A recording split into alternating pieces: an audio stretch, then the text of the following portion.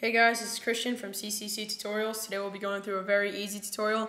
This is how to clear your history and empty cache. So anything you have searched before will no longer be saved on your computer. So what you do is you open up Safari or whatever your web browser is.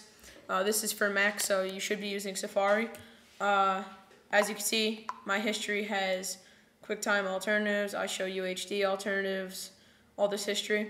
So what I'm going to do, I'm just going to put a couple more things in my history and uh, after you search stuff, it'll show up here.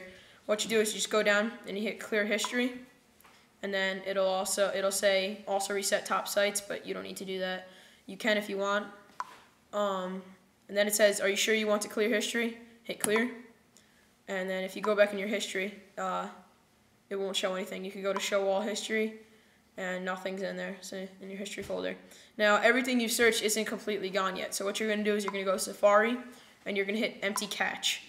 Now what it does is it clears everything from all your saved contents and uh, it stores them in the cache. So what you do, it'll, it'll make your computer load a lot faster every time you visit one of these sites. So hit empty